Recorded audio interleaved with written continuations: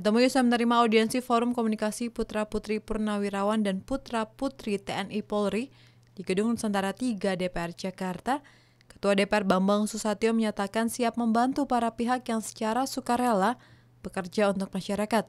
Seperti yang dilakukan Forum Komunikasi Putra Putri Purnawirawan dan Putra Putri TNI Polri ini. Bambang menambahkan, menjelang tahun politik ini kita harus siaga karena akan terjadi banyak pergesekan adu domba masyarakat mengingat semakin marak penggunaan sosial media untuk menyebarkan hoax. Tantangan kita sekarang ini bukan terhadap musuh nyata, tapi musuh e, dalam hal teknologi itu hoax, hoax, hoax, yang sangat mengganggu kita. Karena potensi adu domba juga ada di sana, kemudian e, potensi yang merusak moral bangsa juga ada di sana. Sehingga kalau setiap organisasi kemasyarakatan kemudahan membentuk cyber army dan menghalau Eh, serangan-serangan cyber itu ya sangat bagus dan harus didukung.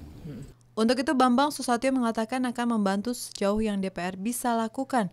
Untuk langkah awal, Bambang akan meminta Komisi 1 mengakomodir FKPPI dengan mitra agar mendukung dan merealisasikan gagasan Forum Komunikasi Putra Putri Purnawirawan dan Putra Putri TNI Polri untuk membentuk tim cyber sendiri. Tentu dengan melalui uh, komisi terkait komisi satu kita jembatkan dengan uh, badan cyber nasional kita supaya bekerjasama begitu dengan badan-badan intelijen karena ini kan uh, kita harus bersama-sama mengatasi masalah-masalah bangsa ini nggak bisa sektoral atau sendiri-sendiri.